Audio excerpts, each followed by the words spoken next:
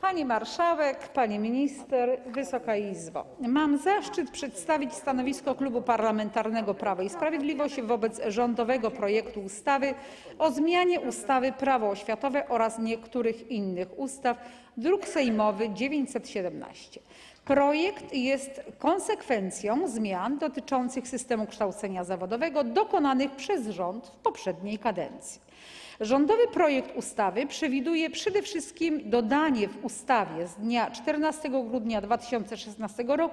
Prawo oświatowe przepisów, które w sposób kompleksowy uregulują sprawy monitoringu karier absolwentów szkół ponadpodstawowych.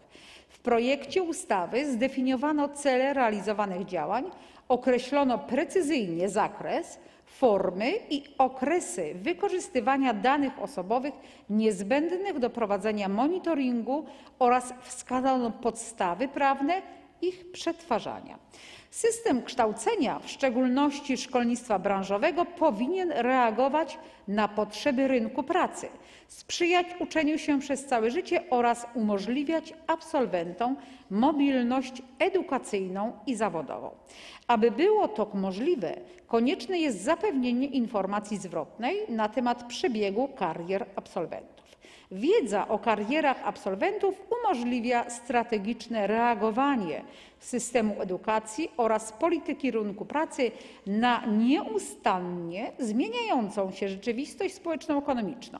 Informacje z monitoringu karier absolwentów szkół ponadpodstawowych odgrywają zatem istotną rolę przy dopasowywaniu systemu kształcenia do potrzeb rynku pracy, tak aby wspierać konkurencyjność i innowacje na poziomie lokalnym, regionalnym, ale również i krajowym, przeciwdziałać niedoborowi wykwalifikowanych pracowników oraz umożliwiać absolwentom podejmowanie satysfakcjonującego zatrudnienia. Proponowane zmiany będą miały także znaczenie dla doradztwa zawodowego, umożliwiając wykorzystywanie szczegółowych statystyk dotyczących sytuacji absolwentów szkół ponadpodstawowych na rynku pracy. Rzetelna i łatwo dostępna wiedza na temat karier absolwentów pozwoli budować wizerunek szkolnictwa branżowego oparty na dowodach. Dostęp do systematycznie gromadzonych i udostępnianych informacji na temat szkolnictwa branżowego pomoże w przezwyciężaniu negatywnych stereotypów, które e, go dotyczą, choć nie znajdują potwierdzenia w rzeczywistości. Informacje dotyczące sytuacji na rynku pracy absolwentów określonych typów szkół i zawodów mają również walor promocyjny i mogą zostać wykorzystane do zachęcenia uczniów do kontynuowania edukacji w szkolnictwie branżowym. System monitoringu pozwoli podejmować decyzje edukacyjne przez osoby kończące naukę w szkole podstawowej w oparciu o rzetelne informacje na temat tego, jakie będą skutki wyboru tej, a nie innej szkoły.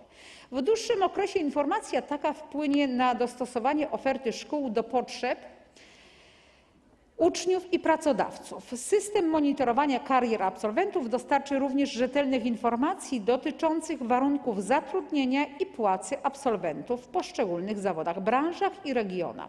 Informacje takie w istotny sposób zmniejszają asymetrię informacyjną w relacjach między absolwentami podejmującymi pierwszą pracę a pracodawcami. Pracodawcy mogą wykorzystać te informacje do aktualizowania i lepszego dopasowania zatrudnienia absolwentów do realiów Projekt ustawy nie jest sprzeczny z prawem Unii Europejskiej. Projekt ustawy nie wymaga przedstawienia właściwym organom i instytucjom Unii Europejskiej, w tym Europejskiemu Bankowi Centralnemu, w celu uzyskania opinii, dokonania powiadomienia, konsultacji lub uzgodnienia. A zatem rządowy projekt ustawy jest istotą, istotną przesłanką przygotowania systemu w proponowanym kształcie, ponieważ obecnie dostępne dane nie zapewniają wystarczających podstaw do prowadzenia skutecznej polityki oświatowej. Pani Marszałek, Pani Minister, Wysoka Izbo! Klub Parlamentarny Prawo i Sprawiedliwość będzie głosował za przyjęciem rządowego projektu ustawy o zmianie ustawy - Prawo oświatowe oraz niektórych innych ustaw. Dziękuję bardzo. Dziękuję bardzo.